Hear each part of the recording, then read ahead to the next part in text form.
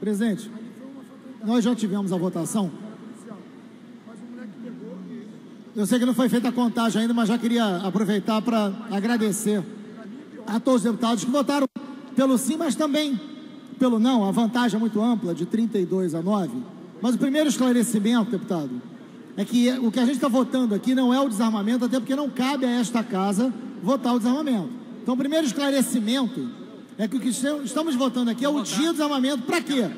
Para que a gente possa ter um dia de grande debate. E o dia é exatamente o dia do episódio de Realengo, que é um marco no debate do desarmamento. Né? A facilidade da compra da arma, a fragilidade do Estado de controlar o armamento legal e o desvio. Eu presidi, junto com outros deputados aqui, uma CPI importante do tráfico de armas e munições, com conclusões importantes para o Estado do Rio de Janeiro, parte delas cumpridas, outras não. Agora, o grande debate é se nós não vamos permitir que se faça o debate. Evidente que esse debate é atualizado. Olha o que aconteceu agora numa escola aqui dentro do Brasil, onde um jovem matou outro. Então nós não vamos fazer o debate. Essa casa impede de fazer o debate.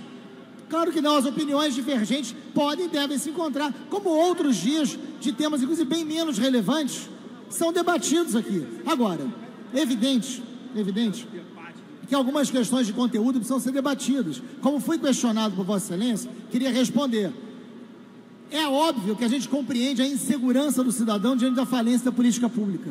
Claro, e é natural que haja uma compreensão da ideia de que se eu estiver armado, eu me protejo melhor diante de um quadro que é sim de insegurança, que é sim de medo, e eu vou poder me proteger melhor. Por quê? Pessoas que vivem no crime andam armadas. É verdade. Como é que se desarma o crime? E aí nós fizemos uma CPI do tráfico de armas e tráfico de munições. Tá lá, eu vou entregar uma cópia para Vossa Excelência. Tem diversas propostas de como se desarma o crime, de onde vem essa arma do crime, como ela vem do desvio de arma legal, das fronteiras. Tem proposta de controle de munição, que a fábrica é brasileira. Tem propostas abertas sobre como desarmar o crime. E isto é uma coisa.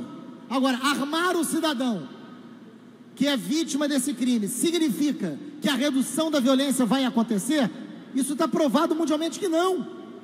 A ideia de que você anda armado, você se protege mais desta violência armada, não é fato. Uma briga de barro vai poder virar um homicídio. Uma briga de trânsito vai poder virar um homicídio. É disso que está se falando. A ideia da proliferação, o próprio Estatuto do Desarmamento mostrou isso. Houve sim, quando se aprovou o Estatuto do Desarmamento, nós tínhamos um crescimento de 8% ao ano de homicídio, baixou para 2%. Foram 160 mil vidas poupadas a partir do momento onde se controlou melhor a arma. Então tem números que são incontestáveis nesse sentido.